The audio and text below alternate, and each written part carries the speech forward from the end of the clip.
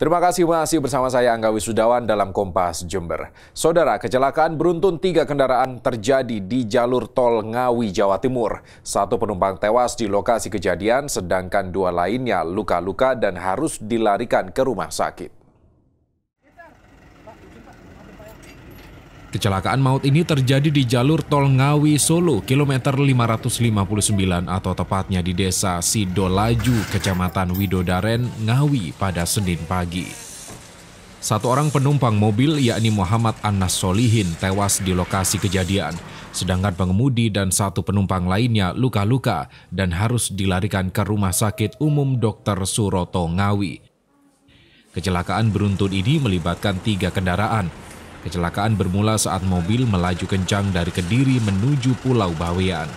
Pengemudi mobil yang merasa ngantuk berusaha menyalakan rokok, namun tiba-tiba menabrak truk tronton muatan pupuk di depannya dan kemudian ditabrak sebuah truk yang juga melaju kencang dari arah berlawanan.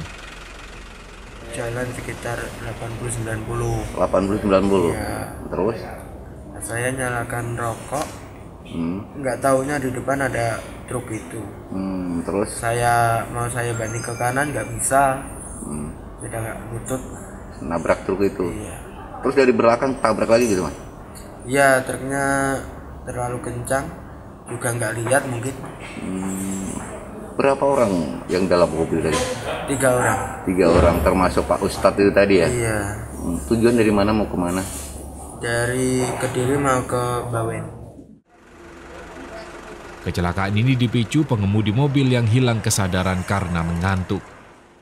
Dengan terpaksa mau menyalakan rokok, batang rokok, sebatang rokok yang akhirnya tidak melihat melihat kendaraan depannya ada kendaraan tronton tersebut. Akhirnya Fortuner menabrak dari sisi belakang kanan tronton tersebut. Dan setelah menabrak dari belakang, uh, belakang Fortuner sendiri ada kendaraan Cold Diesel. Cold Diesel menghantam juga kendaraan Fortuner dari belakang juga. Hingga terguling truk tadi ya? Akhirnya terguling. Untuk kepentingan penyelidikan, satu bangkai mobil, satu tronton, dan satu truk dievakuasi ke unit Lakalantas Polres Ngawi untuk barang bukti.